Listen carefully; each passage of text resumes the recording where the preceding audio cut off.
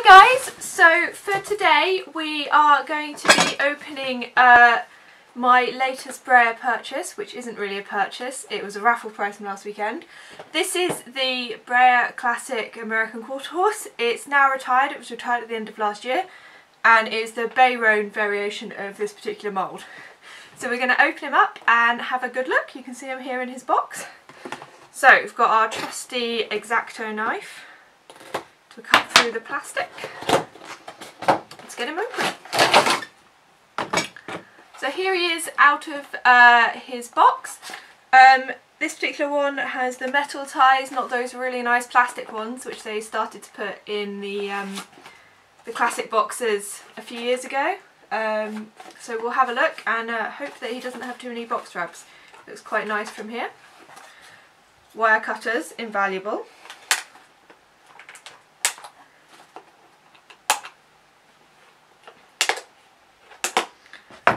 There we go.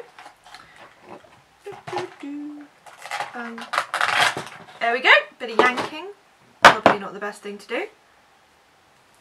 So here he is out of his box. As you can see, he is really nice Bay-Roan colour. I absolutely love the colour on this model and I've been wanting to, uh, to buy one for a while. Um, so I'm quite happy with that. Condition wise, he is in pretty pretty good condition. We've got a little bit of a box rub on the other side. And the thing that really annoys me about this mould um, is because obviously the mane was put on afterwards because this is one of the show horse moulds.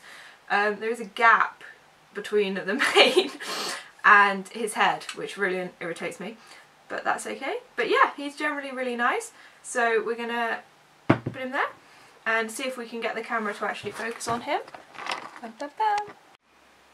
Okay so we've got him down now and so we'll have uh, some better shots of uh, what he actually looks like if the camera wants to cooperate. So here you can see his front side. You can see that really nice roan colour. It's really dark on this model but um, and there are definitely much lighter variations but I think it's rather lovely. If we have a look at the other side you can see that lovely roan coloration really covering the whole of the body which is really nice and uh, we can see his only rub which is up here if we can get to focus Oh, it's not having it.